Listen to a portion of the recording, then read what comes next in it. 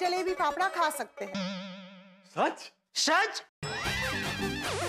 पर पहुँचना चाहिए ना तुम्हारी दोस्त तुम्हारा इंतज़ार कर रही होगी। हाँ वो तो है। तारक मुझे ऐसा क्यों लग रहा है कि आप मुझे घर से जल्दी भगाना चाहते हैं?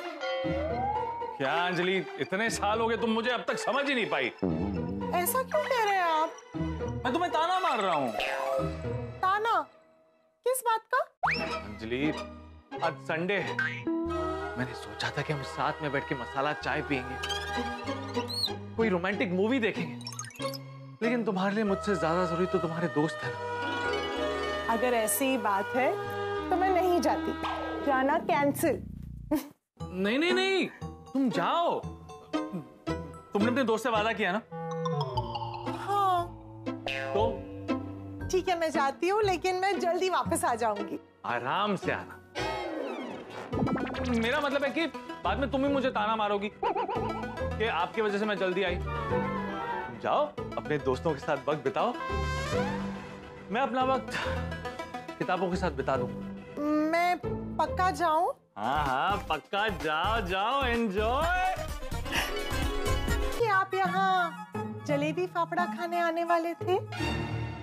नहीं वो मैं लेकिन तुम दोनों खड़े क्यों हो गए?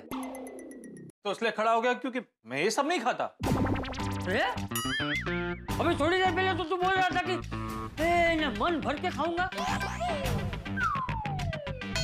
वो तो मैं बस तारक बैठिए ना खाइए। मैं आप सबके लिए जलेबी फाफड़ा के साथ पीने के लिए मसाले वाली चाय लेकर आई हूँ। क्या? हाँ मैंने आपकी और जेठा भाई की बात सुन ली थी।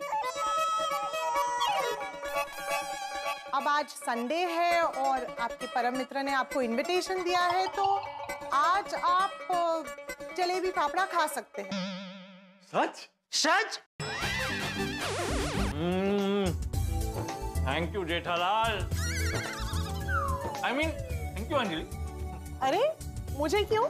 थैंक यू जेठा भाई को ही बोलिए वो आपके लिए जलेबी फाफड़ा लेकर आए हैं। अरे नहीं नहीं अंजलि भाभी परम मित्र को कोई थैंक यू बोलता है भला।